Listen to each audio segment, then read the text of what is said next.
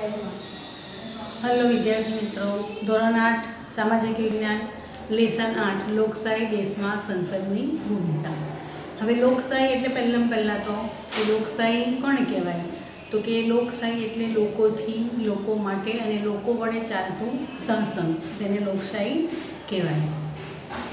સરકારને નિર્ણય લેવાની અને કાયદાઓનું પાલન કરવાની સત્તા કોણ આપે છે? આ પ્રશ્નનો જવાબ એ બાબત પર નિર્ભર કરશે કે દેશમાં કયા પ્રકારની સરકાર છે. દરેક જગ્યાએ લોકશાહી સરકાર હોય એવું હોતું નથી. પણ આપણા દેશે લોકશાહી સરકાર સ્વીકારેલી છે. એટલે આપણે પોતે જ કોઈ પ્રતિનિધિને ચૂંટીને તેને આપણે સત્તા આપીએ છીએ તે આપણા વતી આપણા કામ કરે. કે દેશમાં કયા પ્રકારની સરકાર છે? લોકશાહીમાં લોકો સરકારને આ સત્તા આપે છે.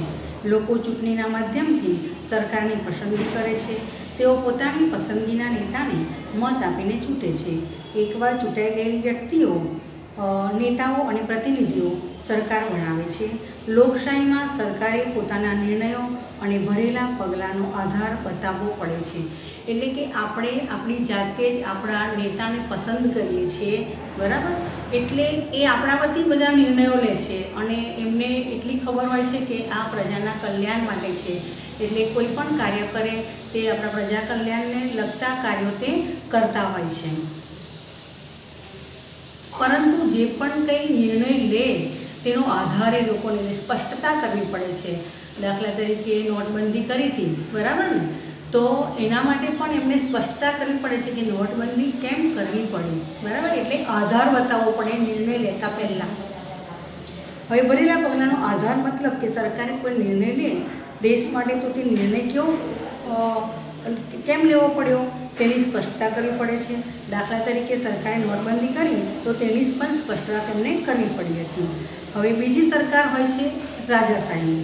રાજાશાહી સરકાર તેમાં રાજા અથવા રાણીની જ રાણીને જ સત્તા હોય છે, દરેક પ્રકારની.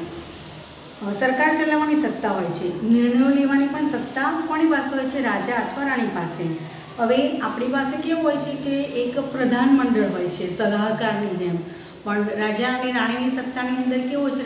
સાહેબની અંદર એ લોકોને એક નાનો સમૂહ હોય છે તે તેમને સલાહ આપતો હોય છે. પરંતુ અંતિમ નિર્ણય કોણ લેતો હોય છે? તો કે રાજા.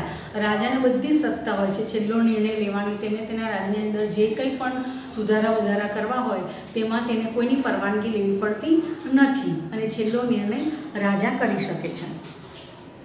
લોકશાહીમાં એક અગત્યનું લક્ષણ એ છે કે સત્તા કોઈ એકાદ વ્યક્તિના હાથમાં હોતી નથી. એટલે કે કોઈ એક વ્યક્તિના હાથમાં હોતી નથી સત્તા. તેમાં રાજ્યના સર્વ લોકોનું સાર્વભૌમત્વ હોય છે. લોકો પોતે જ પોતાના ભાગ્ય વિધાતા બને છે. સાર્વભૌમત્વ એ રાજ્યનું અનિવાર્ય લક્ષણ છે. હવે સાર્વભૌમત્વ એટલે સર્વની ભૂમિકાનું મહત્ત્વ આપણા દેશની અંદર લોકશાહી શાસન છે એટલે અઢાર વર્ષ કે તેથી મોટી ઉંમરની દરેક વ્યક્તિ પોતાનો પ્રતિનિધિ ચૂંટી શકે છે. અને પોતાની એ બતાવી શકે છે. ફરજ ફરજ નિભાવી અને સારો નેતા ચૂંટી શકે છે.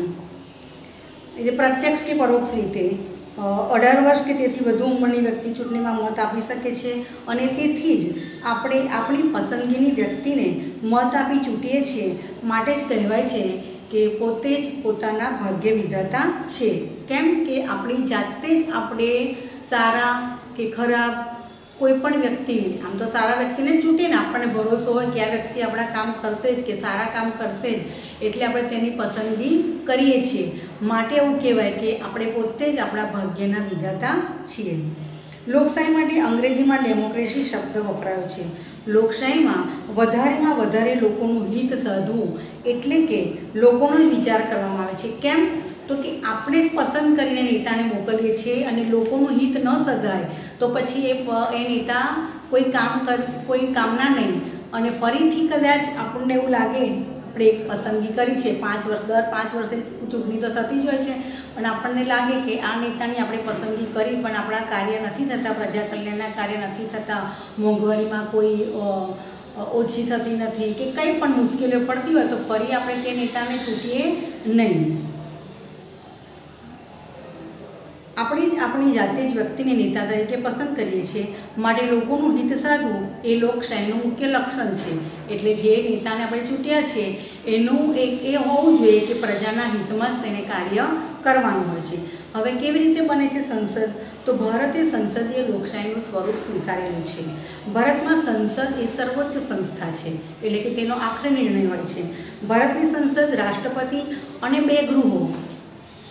રાષ્ટ્રપતિ અને બે ગૃહો કયા? તો કે લોકસભા અને રાજ્યસભાની બનેલી છે. હવે લોકસભાની કુલ સભ્ય સંખ્યા કેટલી છે? તો કે પાંચસો ને પિસ્તાલીસ. અને રાજ્યસભાની કુલ સભ્ય સંખ્યા કેટલી છે? બસો પચાસ. આમાં ગુજરાતની બેઠકો કેટલી છે? તો કે છવ્વીસ.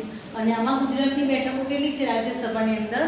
તો કે ગુજરાતની બેઠકો અગિયાર છે. ભારતની સંસદ રાષ્ટ્રપતિ અને બે ગૃહો એટલે કે લોકસભા અને રાજ્યસભાની બનેલી છે.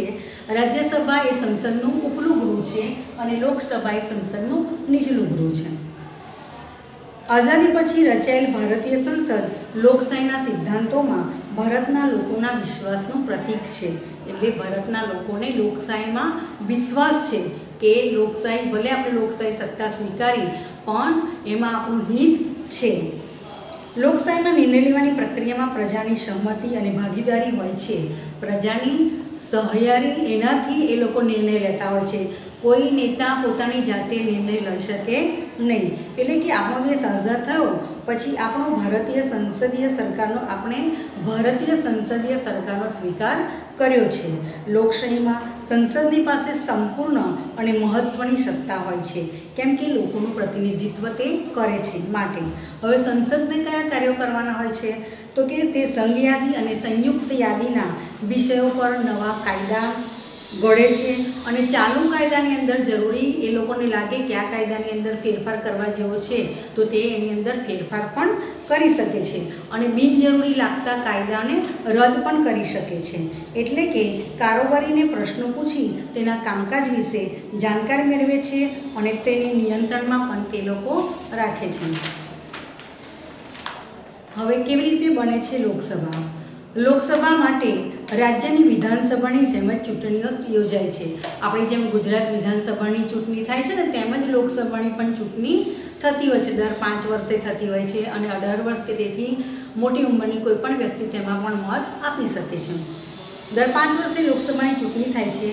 દરેક સંસદીય મત વિસ્તારમાંથી એક ઉમેદવારને સંસદમાં ચૂંટવામાં આવે છે.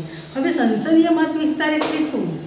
તો કે લોકસભાની ચૂંટણી માટે સમગ્ર દેશને, આખા દેશને તેમાં લોકસભાની ચૂંટણીમાં તો આખા દેશને આવરી લેવાનો હોય છે ને?